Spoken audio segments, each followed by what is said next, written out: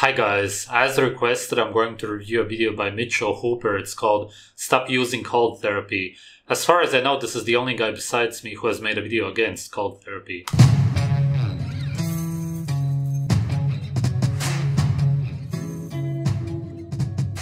Ice baths are all the rage, and mostly for no reason. Uh, not entirely. There is a strong. It is entirely for no reason because not only is it not beneficial for you, it's actually very unhealthy. An interesting thing about this guy is that when I first saw him, I thought that he's some guy around his 50s who has been lifting for decades, who's now talking about uh, cold therapy, but it turns out that he's 27 years old. it's really crazy. Psychological benefit, in my opinion, but there's actually no substantial physical benefit to ice bath. Now, let me explain for those of you who are getting mad, give me the benefit of the doubt and hear me out for a couple of minutes here. So, the initial. Yes, it's very hard for people to hear different kind of opinions. People just want to believe what they believe. It's very hard for them to step out of their closed minds. The idea of icing came from Dr. Mirkin in 1978, where he introduced RICE, which is rest, ice, compression, and elevation. And that was for any acute response to exercise. So when you exercise or when you got injured, you should rest the tissue, elevate the tissue, compress it, put ice on it, and that will knock out all of the inflammation. And which is a terrible thing to do because inflammation is always good for you without an exception. Having inflammation is a sign that a part of your body is damaged, for example, but the inflammation in and of itself cannot be bad for you, seeing as your body creates this inflammation. Your body would never do anything to harm itself. Your body only tries to heal itself. As we knew at the time, no inflammation is going to be a good thing. This is still the dogma that some people stick to, and even some professionals in the field stick to. I'm not entirely sure why. Because in 2015, Dr. Mirkin came out and he actually said, I was wrong because icing takes a helpful degree of inflammation and it knocks it. It takes a lot for somebody to admit that they are wrong, especially somebody who works in the field of science and medicine down to zero.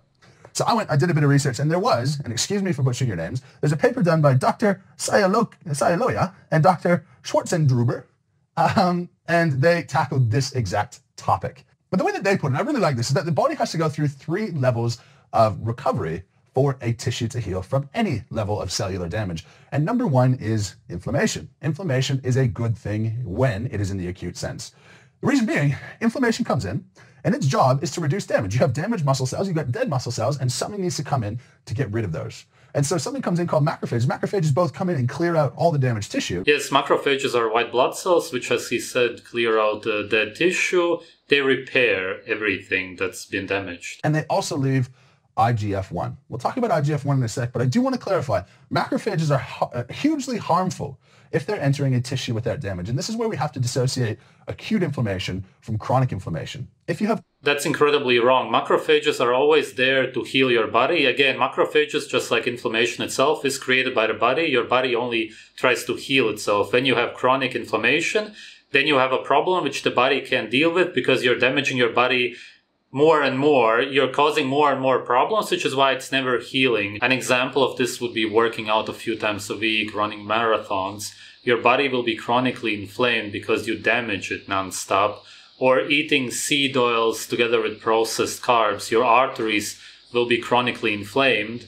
It's always you doing the damage. It's not as if you're just chronically inflamed out of nowhere. That doesn't happen. Chronic inflammation macrophages will go into a healthy tissue with no damage otherwise and start trying to find. The body will never do that. White blood cells don't attack healthy tissues. There's no example of this, no proof, no arguments. He's making this up. Dead cells to clean up and it'll start eating away at the tissue.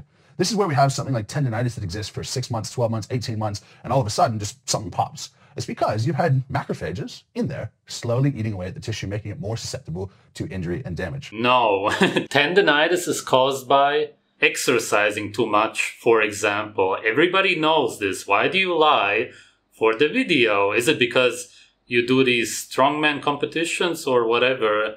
You don't have to live in denial. You can also just admit that exercise, of course, can cause a lot of damage to the body. Tendonitis is an example which most people are aware of.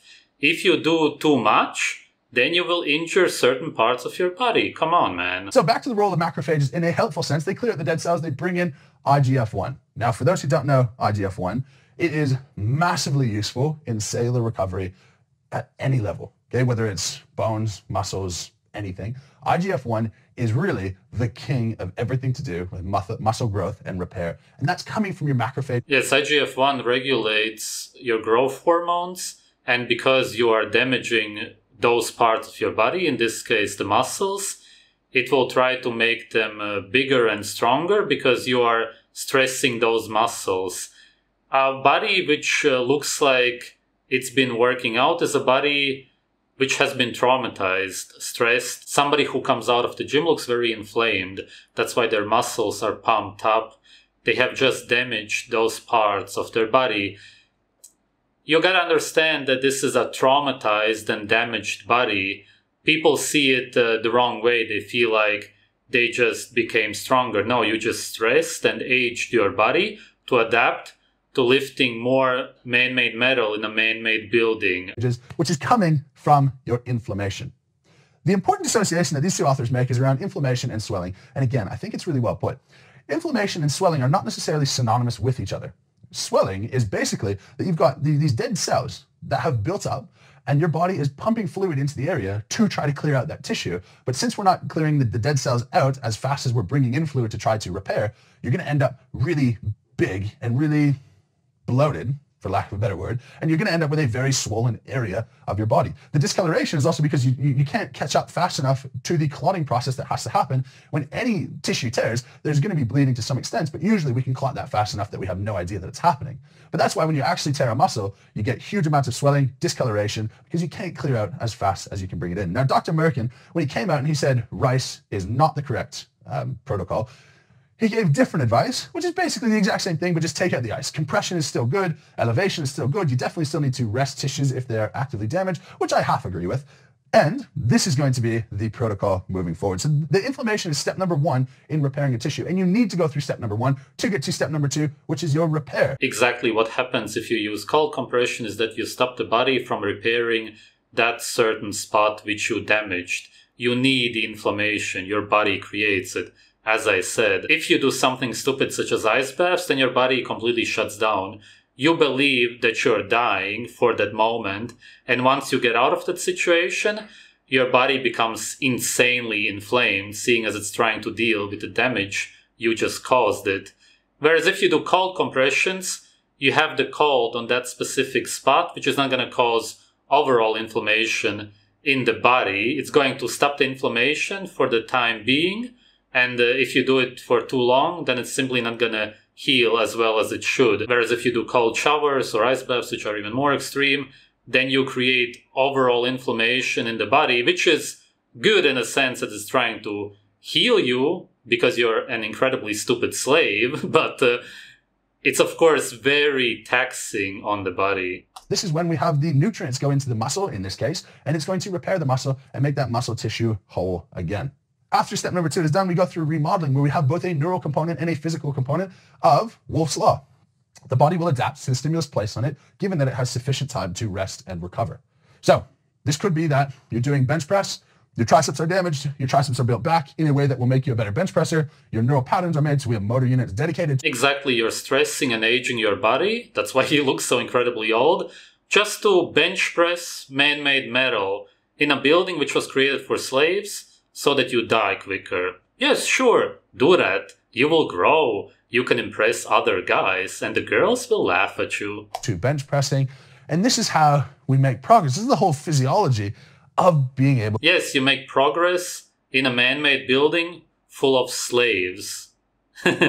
Natural people laugh at you. They wouldn't even understand what you're doing. But to get stronger. And now to cycle this all the way back around if we were to ice, icing kills not only uh, swelling, but kills inflammation. We don't get IGF-1 because we don't get macrophages. If we don't get macrophages and IGF-1, we don't have the cellular signaling to go to the repair stage. And if we don't have the repair stage, there's no way for us to... Yes, to put it simply, you go against what you need. You create this inflammation because you want to heal the damage. If you put ice on it, for example, then you stop the healing process. Slaves do this kind of garbage all of the time. The most important thing to remember is that your body always knows what it's doing. To the remodeling stage because we're trying to remodel a damaged tissue.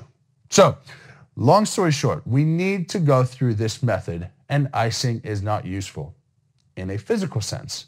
I'm going to do a whole separate video on the potential psychological benefits. He said physical sense, and now he talks about psychology, but everything that's psychological is physical. Is it outside of your body? Is it in your soul? No. Psychology is the science of your body, mostly your brain and your gut. Of ice baths, because that's something that I do believe in. And it's actually something that has me interested in potentially using that moving forward for the psychological benefit.